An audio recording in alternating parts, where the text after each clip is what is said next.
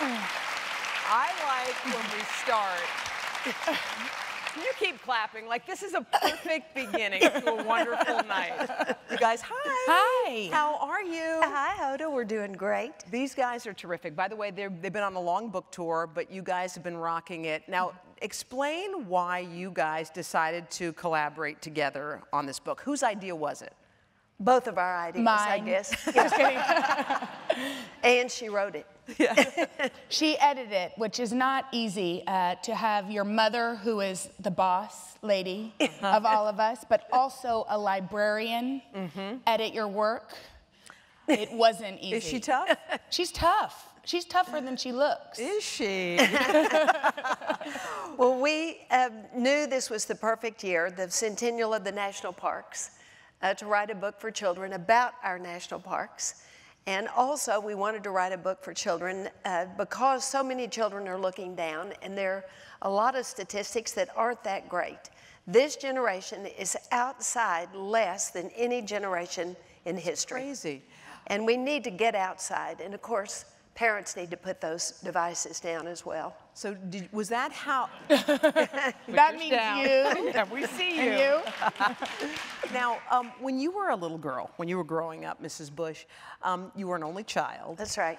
Um, what did you do for fun? What was like a fun day for you as a little girl? Well, I always played outside. I mean, your mother said go outside and you played out until she called you from the back porch that dinner was ready.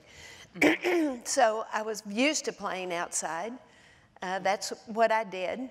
And Tell, I cried last night Why? because What she happened? told these, you know, as an only child, Yeah. I have a twin sister. Yeah. So I had this um, per- playmate from the time I was born. Who happens to be here Who's in here? the yeah, audience? here. Where Barbara's is here. she? Where is? Bar- Oh, there she is. Stand up, Barbara. Up, up, up. She's humiliated. Can't even see her anymore. Um, but talk about your solo picnic. Well, I wrote this in my uh, memoir about mother would pack a little lunch for me, a peanut butter sandwich and an apple or something, and I would walk by myself to a little triangle park that was really down the block. I mean, it was not like it was far away, and have a solo picnic. Just you? Yesterday, last night, when she told me this, I cried. I bawled. I was like, what? It wasn't sad. I mean, there was nothing sad about it. It was fun. Stop crying. but I did always want brothers and sisters. My mother had lost a few, my parents had lost a few babies, early miscarriages, and I knew it. And I knew that they really wanted children, and so I did too. And so that was always my wish on a star. That was your wish on a star? Yeah, for a brother or sister. Did you, I would imagine, knowing you and getting to know you through Jenna, you must have had a lot of friends. You seem like the I have a lot of friends, and that's, of course, what makes the difference, really, I think, for only children to have a lot of friends. I have many childhood friends that I've known my entire life that are still my best friends. In fact, four of them hike with me every year. We've hiked for 30 years, uh, every year in a national park. Uh, they, none of them live in Midland anymore. Uh, none of us live in Midland anymore, but we get together. We were just together a couple of weekends ago at Wimberley on Cypress Creek uh, to float on the creek, but we hike together every year. So we make a point to get together. and those are the kind of friends that an only child makes, I think. Oh, will you describe for me? Someone asked me this question, and I thought it was telling. Close your eyes. Can you do it? Yes. Picture your childhood bedroom. Look around your childhood bedroom. Now open your eyes and tell me what you see. What was in there? Well, I had sort of a day bed uh, that was under the window in the front, and I had my animals lined up in a row, my stuffed animals.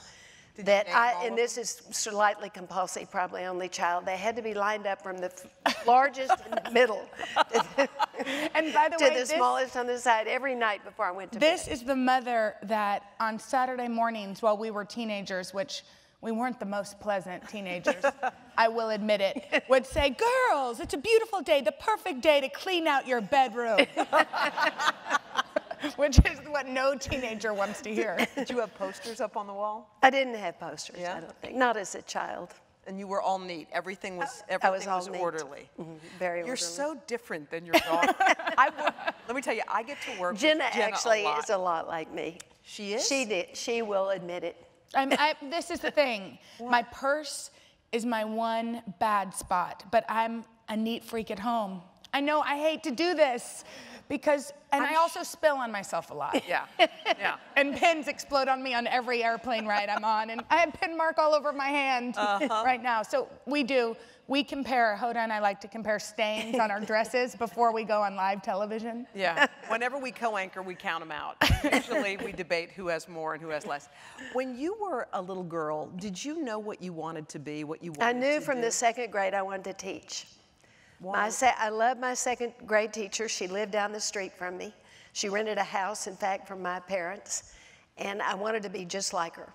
And I remember standing on the schoolyard, and um, when we played outside during recess, and I would lean against her, and she'd have her hands around me, and my best friend would lean against her teacher, Miss McQuestion, and we would be eye to eye, and they would be eye to eye.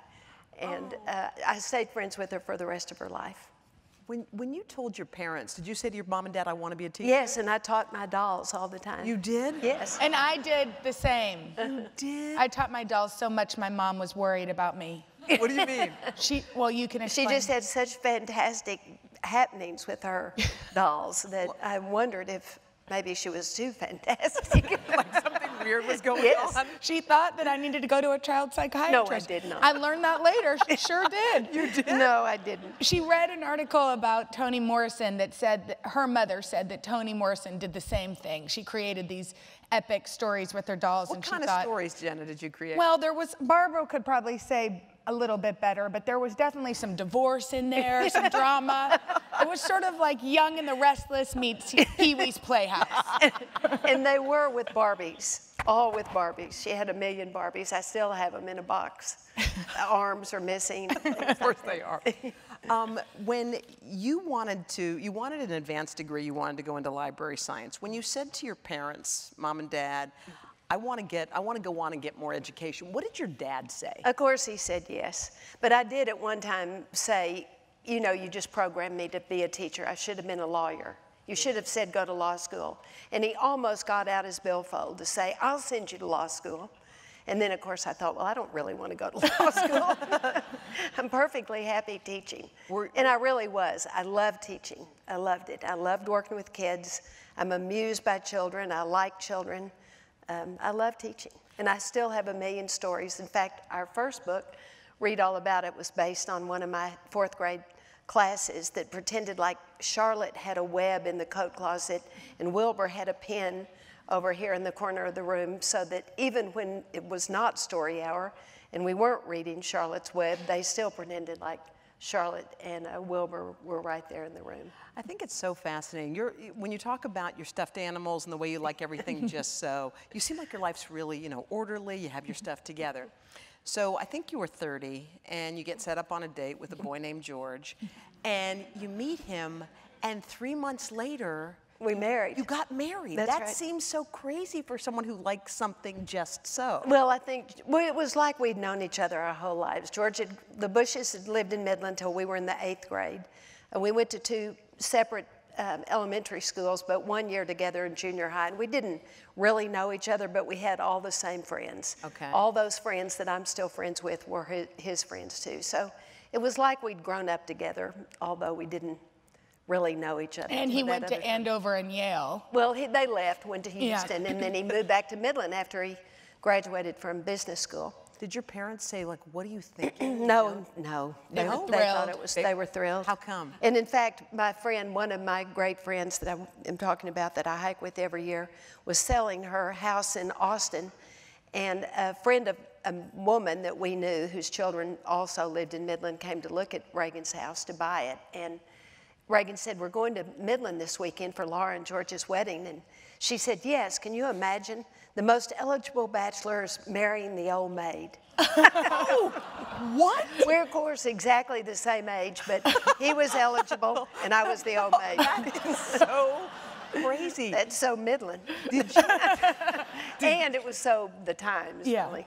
Did you know you were marrying a politician when you married Well, him? that's why I hadn't really, for a couple of years, our friends who invited us both over for dinner at the same time had been saying they wanted to fix me up with him, and I thought I just wouldn't be interested. I knew his dad had run for Senate in Texas and for Congress, was elected a U.S. congressman, but lost a Senate race twice. So I knew that it was a political family and that he was, George was probably interested in politics. Uh-huh. But, um, He and I thought I promised her- wouldn't be interested. He promised her that she would never have to give a speech, a political speech. Uh, how'd that go? Not very well. when was your first one that you remember? right away, speech? right after we married. he decided to run for Congress.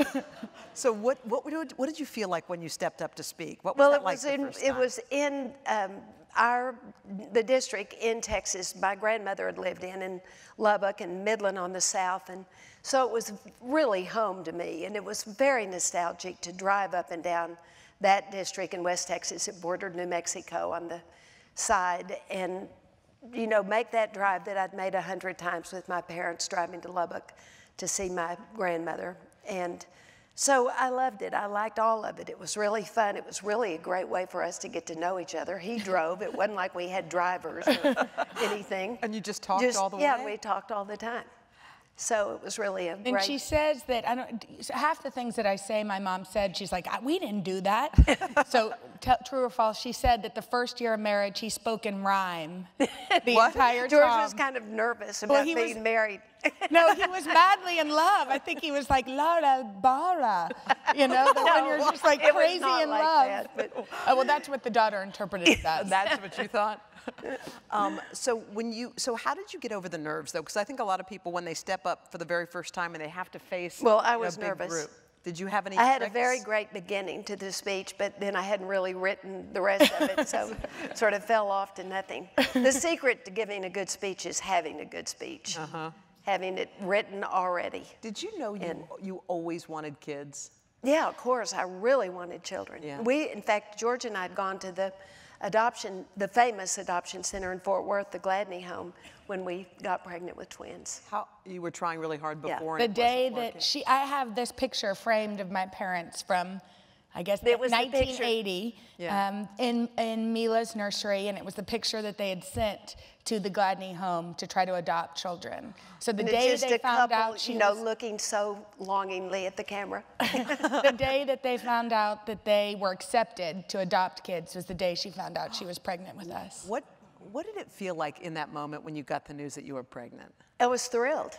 And then we had a sonogram, and this wonderful doctor, doc, uh, Indian woman, Dr. Serini Malini, said, Oh, there are two babies. and we gasped. And I'd sort of been picturing two babies, so I was so thrilled to get two at once. And so she said, They're beautiful babies. They're beautiful babies Aww. in the sonogram. And then I never saw her again. I always thought of her again. And then finally, I invited her to the state dinner for the Prime Minister of India. Are you kidding? And she was at my table across going. Oh, that is so beautiful. The day, She said, I never told anyone. I protected patient confidentiality. oh my God, Jenna's crying. And of course, I haven't even said anything. And I'm, usually I make myself cry. Um, when you, when, when the girls were born, Barbara and Jenna, and the very first time you held them, after that longing and wanting and wishing and, and even possibly adopting, what did it feel like to have them on your, on your chest? oh, it was wonderful, really. Uh, we You're going to loved make it. her Al- cry. I just wondered, yeah. Although we didn't really know what to do with two babies. we'd put them in their cribs and they'd cry and we'd run to the other side of the house. Hope they would quit crying and go to sleep. Were their personalities different from the, from the jump, from the get-go? Yeah, a little bit, I think. I mean, they were each themselves for sure. And of course, I was thrilled to have two at once because they had each other. They were born with a sister, uh, which is what I'd always wanted the, the sister or brother. So that was great. And during that time, you have two babies. What was your husband doing at that time? Was he, in office? He would no. He was in the oil business in Midland. We were. My parents lived there. We were in our hometown, which was great. I'm so happy that we had those years then. Uh, my dad loved children, and he was so crazy about Barbara and Jenna. And every day, right after lunch, when I'd put them down for their nap, he would come, stand at the door, and talk real loud, and say, "Laura." Are the babies awake? and then when he walked in their room, they'd be standing in their cribs waiting for him. And um, so I'm so happy that he had the chance to have those babies in the same town for those few years. You named Jenna after your mom. my mother, and then obviously Barbara's Barbara. named after George's mother. Is, is your mom still living? Yes, she's 96. She's still in Midland. I go see her often. When when do you think she was the proudest of you of all the things that have happened in your life? Is there a time that you say that was the moment where I think my mom was the proudest of me? I think she was always proud of me. I mean, I didn't do anything. I just was along for the ride. She did she a could be proud for of, of George, which I'm sure she was. But um, I think she always, she always acted like she was proud of me, and she always acted like she was proud of Barbara and Jenna. Who who was the disciplinarian of you and your husband when it came to the girls? Neither. That was the problem. they were just they they did my dad probably. Not really. I remember the one time we got into trouble, or we got into it twice, but the one time my dad was president, and I thought, oh no, I'm gonna have disappointed him so badly, and I felt terrible. and What, I, what did you do? I don't remember. well, I got. It's not worth getting into the details. You can probably I had. You it. can probably look it up and, and it, look it up on Star Magazine. um, and I remember, you know, my dad had just been elected president. I thought, oh, I'm gonna. This is the type of trouble that kids in college get, and it wasn't anything horrendous, thank Right. goodness. Um, and I remember call- thinking, oh, I'm gonna have disappointed him so badly, and I had to call him at, you know, 11:30 at night or something. And he answered, and it's an hour later in DC, and I thought, oh. And he said, honey, are you okay? And I said, well, dad, I just got in trouble. And he said, well, no, are you okay? It didn't even, it was more, you know, he knew that we were wanted to be normal college kids. And this is what normal college kids do they fall, they make mistakes. Yeah. And he wanted us to learn from those. And I really think so. I mean, I think he thought more, you know, geez, we put you in this situation to be plastered on the cover of t- today's show. You're welcome. yeah, thank you. Thank you, You're Hoda. so you're a little girl, Jenna. You're growing up. You have a, an awesome sister. And What's it like to be a twin? Hmm. What what? Tell me what that feels like. It's like therapy. This is what Barbara and I do when we go on speeches together. We just cry on stage for 30 minutes. We're like, thank you so much for having us. We feel so much better about our lives. Next time, a couch would be appreciated. Don't you sort of feel like Hoda's a therapist? Um, we, I mean, I can't imagine a day in my life that Barbara wasn't in it because there wasn't one. And so um, I don't know if you guys have read the beautiful article she wrote in Vanity just Fair. thinking of that. I sent it to Hoda and I read it to Henry and I cried while I was reading it to Henry. I'm like, isn't this beautiful? Barbara's a really terrific writer and um, she's just such a, I have the best sister in the world. She's this beautiful spirit who uses her life to make others better. Mm-hmm. And so it's made my life really wonderful. And we compliment everybody. You know, it's one of the things about being a sibling or being a, a twin in particular is that people want to categorize you as, mm-hmm. or stereotype you. You're the blonde one, she's the brown one. You know, she- you're the wild one, she's the calm one. And I actually think um, we compliment each, that none of those stereotypes are perfectly correct. And that we complement each other uh, perfectly. That every you know we laugh at the same things. We laugh at our humor is exactly the same. Um, we can tell when each other feels like they need um, one another Barbara's going to come up here and give you a hug in about one second. barbara's sobbing too. she's right there sobbing in a white shirt too. this is what we normally How did you, by the way, how, you guys obviously are so normal. And Jenna, we knew you were, and you came, you came to us at the Today Show, which I'll get to, but you seem like you could have grown up in a small town on a block with your mom and dad, and you would have been this exact same girl. Given Well, she ev- did. That's true. Given everything that you that was around you, and I'm sure the pressures that came with it, whether you uh, you know say it, talk about it a lot or not, that's a lot of pressure for a young kid to have. I think. Well, I mean, we were t- raised uh, in Midland, Texas till we were five. Yeah. We moved to D.C., where our grandpa- my grandfather was running for, for um, president. We went to a, a darling little, I have such fond memories of our little public school in Washington, D.C. And our grandparents babysat us. Like they babysat us a lot uh-huh. when my parents would go on date night, I guess. I mean, I don't know. Including the night before my grandfather's debate versus Michael Dukakis, there was this famous, hilarious story where Barbara and I are spending the night with him and she lost her cat, Spiky. And my grandfather's hunting with the Secret Service instead of preparing for a debate. She's like, Gampy, I can't sleep without my stuffed animal. Oh, it was stuffed. It's oh, oh no, no, it wasn't a real cat. she didn't bring the real cat to the to the vice president's house. We, it was fake. Um, but she, and I think that's it. I think uh. that we had grandparents that babysat us the night before debates, mm-hmm. that put family above politics all the time, mm-hmm. um, and made us feel like we were loved. That going back to that phone call, you know, they wanted us to grow and to be. People always thought, oh, your parents, you know, you want you to be in one political party or the other. They want you to turn into this person or that person. And I think good parents, I mean, I hope that I can emulate this, want you to be creative, um, curious thinkers, and to create your own opinions and have fun conversations around the dinner table. And that's what my parents mm -hmm. did. Mm-hmm. I love that. when it came to how often did, did Jenna or Barbara ask for your advice? Or did they just watch what you did and sort of you know, sometimes you ask for advice and sometimes you sort of just emulate your parents. I don't remember them asking for a lot of advice, do you? No. I really I think, don't. Uh, I think Bar- I think we've asked for career advice. I know my sister. She started this amazing global health non-for-profit called the Global Health Corps. Um, she and one of her partners, Denny, are over there right mm-hmm. now. And she, I know that she spent long conversations with my mom and my dad, both about starting um, something from scratch and how difficult that can be. My work is just hanging out with Hoda. and my mom does give me unsolicited advice like, lower your voice. You, know, you don't need to get so excited.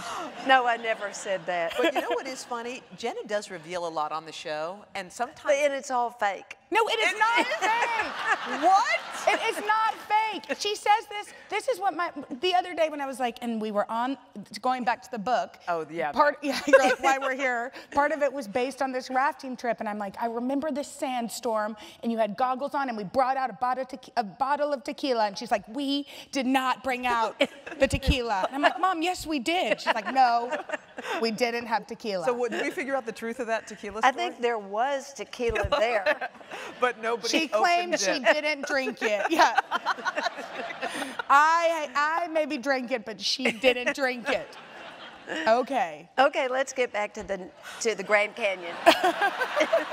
back to the but real quick, one of the things Jenna said, I mean, very revealing but little bitty things. And I remember every time Jenna hosts with me, it's always something that's cool and interesting. But I remember one thing you said that stuck with a lot of people. You said that you found your diary from when you were in fourth mm. grade, mm. and one of the things Jenna wrote in her diary as a fourth grader was, I want to lose four pounds. I want to go on a diet. You know how kids are very self, you don't even realize it broke my heart. Up. And you know what's even more um, sad about the story is that I wasn't the first person that found it. A couple years before, Barbara found it at the ranch, and it broke her heart so much she had to just put. She like couldn't even come in and share it with us because she was devastated because she imagined my little chubby ten-year-old self saying that I wanted to lose six pounds, so she just put it back in the drawer and pretended like she never oh, read it. I know that. Wow. You know when you've seen something so sad, you're like, I can't even discuss it. Isn't that funny? Because did you even realize that as a, as, as a grown woman? Do you remember stuff like that or no? I mean, no? Barbara, do you remember me thinking, I was sort of chubby, but I kind of liked being chubby. Yeah. and um, no, and the funny thing is, like when we were trying to dissect, it's not like we talked about food a whole lot, or my mom was definitely not, you know, the toddlers and tiaras type that was like, you know, lose weight for your bathing suit.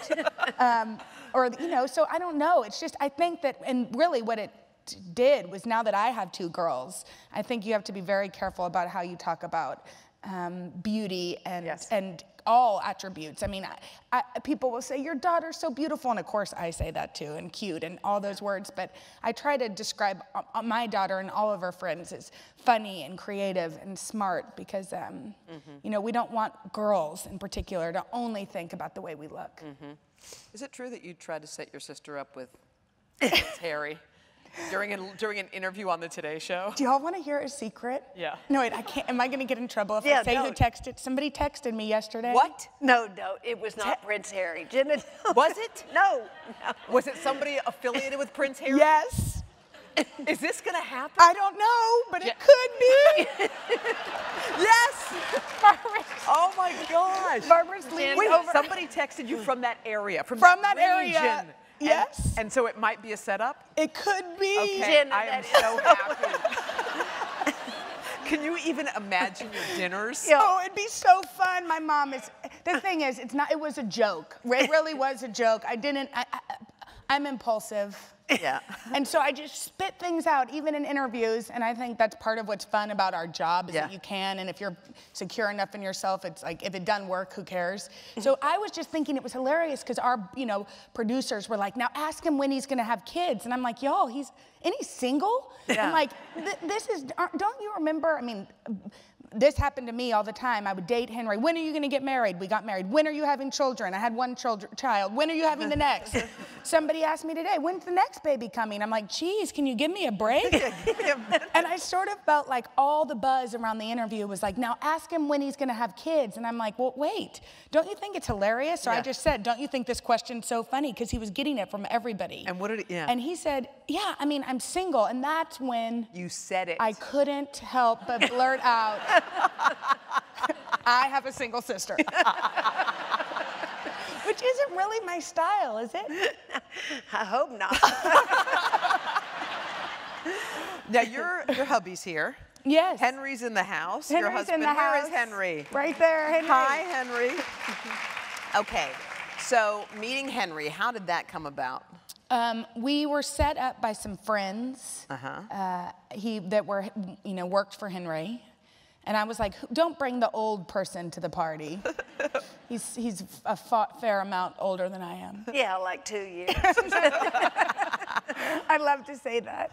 All right. So you met him, and, and we met him, think and I thought he was really cute. Yeah. And I actually said to Barbara, I said, of course the cute one has a girlfriend. Did he? Yeah, he had a girlfriend. And she wore a lot of pink. Um, and I just didn't, you know, so I thought, oh, we're, this isn't gonna ever work. Um, but no, it, was Your mom's dying. Should we get back to the book?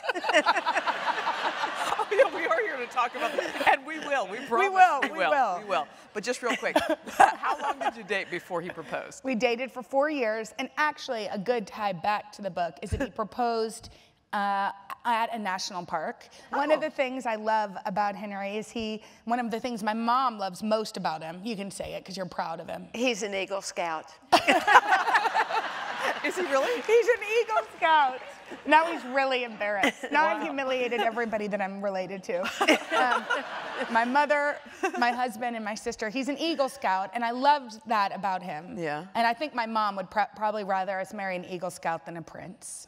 Um, and Yes, so, for sure. So he, um, he, we both, you know, fell in love with the idea of being outdoors. That was one of the things we loved about each other. And when he proposed, we were on a, a car trip in Maine, a road trip, and we were at, at Acadia National Park, and he had planned this all out, where he was going to propose on the top of Cadillac Mountain, which is actually the first place the sun hits the United States, because it's the farthest east place in our country. Um, and so he, he drove um, up and woke me up. We were camping out early in the morning, and he at four in the morning said, "Okay, come on, we got to go. If we're, gonna, you know, it's four-hour hike. If we're going to get to the top." And I was grumpy, probably, and we um, like one more hour. Um, but when we made it to the top, he proposed, and I remember, you know, thinking the night before we were writing in our journals, and I remember hearing little kids and thinking, you know, creating a life with him would be pretty great, and it has been. Eight years later, our anniversary was yesterday. Oh, happy anniversary! And two adorable babies. And two babies. You have to see when Jenna works with me in the morning how she comes in and does a little FaceTime with, Mm-hmm. with Mila every morning. What's it like having those two, Oh. those two little girls? They're the best. One of the really great things about technology, getting back to the book, is that we can FaceTime with Mila and Poppy every day. Yeah.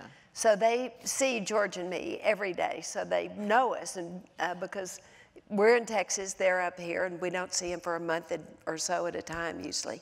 And we can FaceTime every night with Poppy and Mila before they go to bed, which is really fun. Did you guys take road trips as a family? Did you pile in the car and do anything like we that? We drove to our lake house in East Texas. We didn't really take, we went to Maine in the summer. Well, we did. We would go to every weekend. I mean, I think part of the reason we wrote this book is that we didn't, you know, it doesn't need to be grand, these trips. We wouldn't go, we went to one national park and we lived in Midland. We went to Big Bend or the area around it. We rode a horse for the first time. But when we were um, when we were little, we would go to this little cabin outside of Dallas in East Texas. And I remember when we got it, we thought, oh, awesome, we're gonna get to swim and water ski. And we were really little, we couldn't have water skied, but you know, all these activities.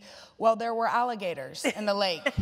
so it was really only for fishing and kind of walking around and being outdoors. Yeah. There wasn't much for, for little um, second graders to do. So what we did was be, we played outside all day day, my sister and me. And then also we would go on these night walks after we cooked. My dad would say, "Now who wants to go on a walk?" Uh. And we most of the time we'd all raise our hands, but you know, I always felt like if I was lucky, I'd have his undivided attention. And I think that's one of the scary things about technology is that even you know in our own living rooms or or when we would go on night walks how many times would somebody look out check who text messaged them. Yeah. Or look at their Instagram or, you know, write a work email or get a phone call. But we never had that. So these were uninterrupted moments with each other that felt really precious. And George is really good about doing things like going on snow walks in Midland when they were little at night. Mm.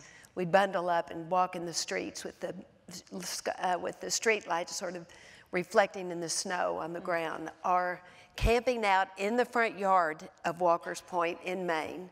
Gampy would always put up a tent, and then little Barbara and Jenna would sleep out there with George till probably about 10 o'clock at night. And they'd have Everybody come in. But and it doesn't. That that's why the book ends yeah. with the kids in their own backyard and thinking, "Wow, it is pretty beautiful."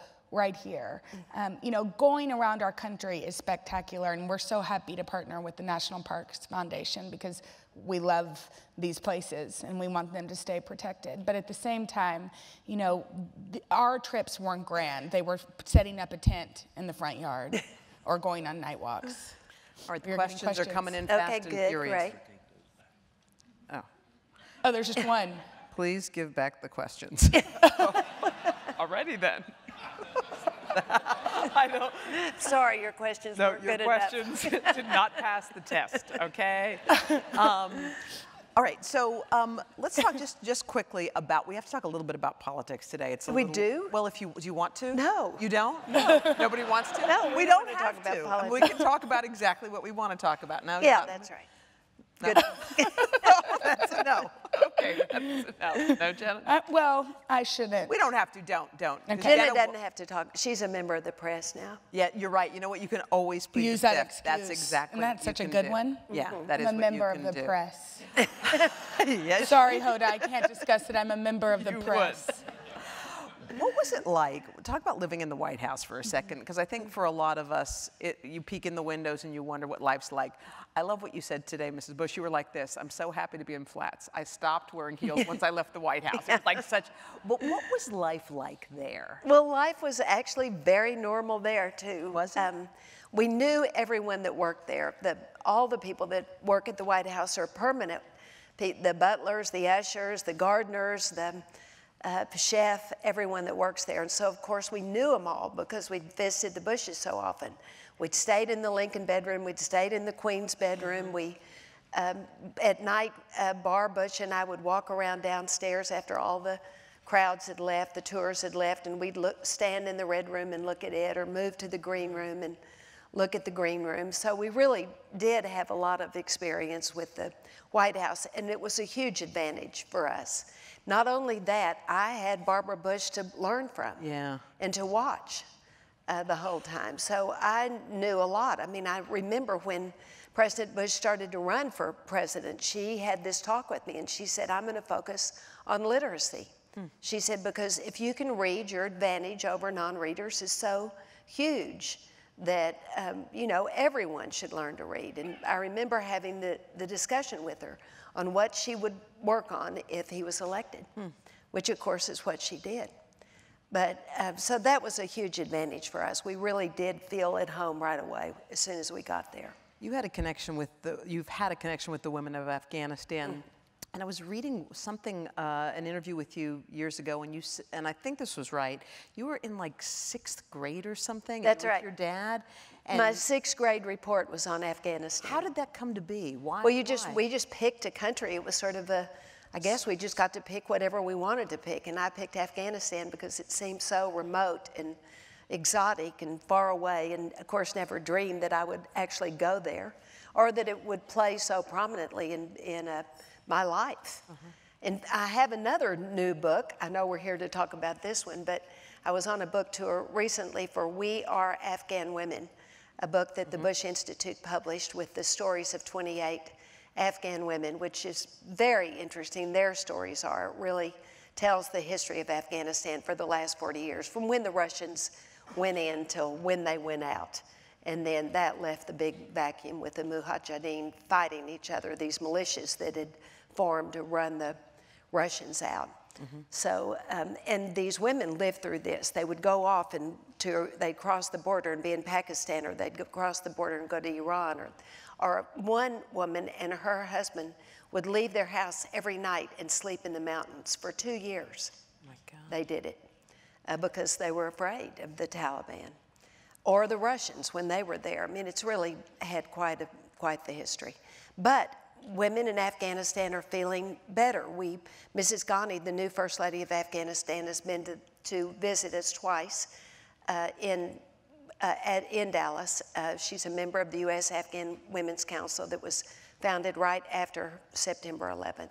And then we just had the new ambassador from Afghanistan to the U.S. and his wife to lunch at the Bush Center. And George said, "Tell us what? How do people feel?" Mm-hmm. And he said, "Good, and that things are good. You know, they're better than we think reading things." But he said people are afraid. Hmm.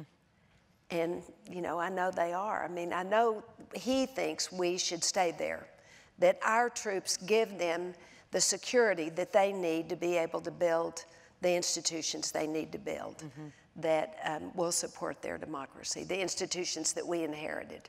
All the things we inherited that we didn't have to do a thing for. Mm-hmm. The free press, the independent judiciary, the business law, the contract law, all the things that we inherited that allow us to have a thriving economy and, and build or the civic institutions and civil institutions that support a democracy. You stay involved in everything. Is, is it weird once you leave the White House because now you're ha- you know everything. You want to help to change. Well, so that's many right. things. I mean, You there's just certainly continue. things that you Yeah. want to keep working on, and that's one for sure. And how did how did days unfold? Minus the book tour. Forget this. Well, Like, days wh- were yeah. busy. I mean, there was lots of travel. I went to every single state. I went to 46 countries or some, no, 76 What? countries. They've now been approved. So, you know, every day you got up and got dressed and put on heels and went somewhere, you know, with events of, of various types or traveled all over the country on a lot of things. I founded the two book festivals. The, I'd started the National Book Fest, the Texas Book Festival when George was governor. And, and uh, so as soon as we moved to the White House, the Librarian of Congress, Jim Billington, called and said, don't you want to do a National Book Festival? Like that, and we had it, and it was the weekend before September 11th. Wow. But So it's there was- continued today. Eh, Mrs. But it, Obama's goes, it still continued goes on today. 200,000 people turn out for it now. The first year, 30,000 people Wow. turned out, and we thought that was a huge number. All right, we're gonna get to some of these Okay, questions. good. We just have a few minutes, so hold on. I hope they're about the book. Let's see. I think you might be right. All right, this one says, "What's the biggest discovery that you made while working on the book?" Hmm, that's interesting. What would be the biggest discovery? Well, I think, you know, one thing it made us think about is that, you know, the whole point is that it's a book about a little girl named Jane who wants to go, her parents want to take her on the great American road trip. And all she wants to do is stare at a screen. Um, and I think, it, and I, the reason why we, I wrote it on maternity leave because I thought about my most fond memories, and they were spent with outdoors with my parents. And we didn't have technology to kind of impede on that. We didn't have a computer, I don't think, until fourth grade. Um, and so when I thought, when I was holding this little baby, I got kind of worried. Like, what is their life gonna be like? And that's um, new mothers, you know, are hormonal as can be. I still am, as you can tell. And so you, you get very wrapped up in sort of like thinking about your children's future. I did. And I think, you know, that's the reason why we wrote it, because we want to make sure that this next generation doesn't get so caught looking down that they forget to look up. Mm-hmm. And so one of the things that it made us sort of do, and I'll let you speak for yourself, but is realize that we're the ones Do looking the same down too. Yeah. And that, you know, some of my favorite, when we've talked about this book, I've realized some of my other favorite memories with my dad in particular, and my mom too, but I don't, for whatever reason, maybe you would go out earlier to the lake and my dad would drive us. And Barbara probably remembers this. Is like, remember when we made dad listen to the Green Day CD over and over and over again? was having these, these car rides where we could listen to music and talk about the music. And I have the type of dad that let us play DJ, which was very fun. I'm sure he didn't want to listen to Green Day, but he pretended he did. He's more of a Hank Williams senior type. But he, um, we'd had great conversations because there was nothing to distract us. There was no TV screen, there was no phones. And so, what it's made us think about is one, how much we're looking down and not paying attention to our children. Um, two, on car rides, Henry and I got into the habit where, you know, and I'll admit this, where sometimes it's easier just to give Mila the iPad and to watch Peppa Pig, and you know, and then it's quiet and we can talk. I mean, she is three, you know, but we don't need to be so hard on ourselves. But but how important is it to have those fun family conversations or to sing along to music? Um, and so that's something that it made us think about is how often we're looking down as adults. Okay. All right, here's another one. You must have more uh, free time now, so what do you and the president enjoy doing in Dallas? Uh, Well, George has become a painter. You probably know that. He's um, really having a wonderful time painting. He's gotten to be really good. Um, he spends a few hours every day painting, and he has two different instructors that are both artists uh, who are his instructors. So he loves that. Uh, he, we have a lot of mountain bike trails at our ranch, and he rides mountain bikes there. He's had a mountain bike ride in a golf tournament with Wounded Warriors every year uh, in Dallas. And we were just this weekend when Jenna was with Prince Harry at um, the Invictus Games in Orlando, which um, was is for Wounded Warriors. It was founded by Prince Harry. He was he hosted it in Great Britain last year, and then this year he moved it to Atlanta. But it was all the warriors. Moved it to all- Orlando. Orlando, all the warriors um, in the coalition that went into Afghanistan. so it was people from the Netherlands, from Great Britain, from Canada, from Jordan, even from Afghanistan, uh, from all the countries that were involved. I think about 14 or 15 uh, countries were represented there. So, um, so he's done a lot with Wounded Warriors, and right now, in fact, he's painting portraits of Wounded Warriors. And he wants to do a book with the portrait, and then he'll write the story of each of them. They're all men and women uh, that he knows. Wow, beautiful. Um, what is your favorite family vacation? Well, one, did we already tell the story? Now we're like, we've talked so much, we don't remember what we've said and what we haven't. Did we tell the story of the Grand Canyon? Talk about hiking. No, we didn't really get into the details. Okay. What happened? So I've hiked, like I said, with the, these Midland friends that I grew up with for 30 years. And the very first trip we went on uh, 30 years ago was the Grand Canyon, floating down the Colorado River and then hiking out the South Rim. So when we were at the White House, we thought one of those years that we would uh, do that same trip again in the Grand Canyon and invite our daughters to go. So we did. And uh, Jenna and all the girls, Barbara was in Africa at the time, so she didn't get to come with us, but um, made that trip together. The beautiful, beautiful Grand Canyon with these pristine little beaches along the side where you set up the tents at night, and cook, and we use an outfitter, so they do all that. We always use an outfitter. We can't set up the tents ourselves. But anyway, that was the trip And then, Jen but you and know, I they invited us once and they never invited us again. I don't know what we did wrong. We shared a tent, and she every morning she'd say, "Pass me my contacts." Uh, yeah, exactly. really- I wouldn't be able to find She couldn't find it. Where are my? Con- do you see my contacts? And then the sand would blow on these little sandy beaches, and so I wore goggles the whole time. I was a nerd in the national parks. And I sort of led her around, helping her from one place to the next. But we had a really terrific time, and that was one of our favorites. So we, of course, put the Grand Canyon in this one, this I love book. that. Um, from whom did you discover the beauty of the outdoors? Was it your folks? Yes, I Yeah. mean, oh, from yes, from my mother Yeah. for sure. My mother was a real naturalist. She, when I was the Girl Scout and got we got our bird badge, she became a very knowledgeable bird watcher, which was kind of irritating when I was a teenager and you'd be trying to sleep in the back seat of a car on a car trip, and she would, you know, oh look, there's a so and so. And then guess what our mom did when we were teenagers? So uh, she's, you know, that, so she was really the one. She was the inspiration. And part of the book, the little girl is hesitant. She says, Nothing to see here. She's looking down at her phone. She's not looking up. Meanwhile, there are tons of animals. Tons of things around her. And we, she wakes up when her mom says, Put your phone down and come look in the telescope in Big Bend National Park, which is by where we grew up. And she looks up and she sees a meteor shower. And that's based on favorite childhood memories with our grandma, Jenna.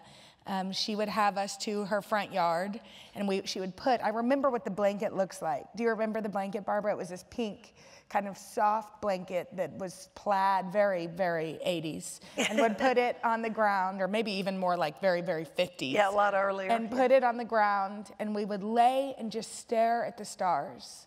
Hmm. And that was enough. I mean, being there with her, mm-hmm. staring at the stars, was one of the most powerful memories of our childhood. Mm-hmm. And so, in it, when you write your own book, picture book, you can put a lot of little things in it that you want to put in it. So, in the telescope that Jane looks through are the initials JW, my mother's initials. Oh. Yeah, there's a lot of numbers. You'll notice 43 on the golf bags, It's all there. Enforcer on the uh, um, at the Yellowst- um, the Yellowstone. geyser, The Old geyser has uh, an Enforcer on it. That's for our grandmother. And you'll notice a little white, our other grandmother, Barbara, the Enforcer. And you'll notice a little white-haired lady in the corner, and that's also her. all clues all over. You guys, this was beautiful. Thank you Oh, well, guys thanks, so thank you much. so Such a big much. round of applause. Thank you, Two guys. Lovely ladies. Thanks, everybody.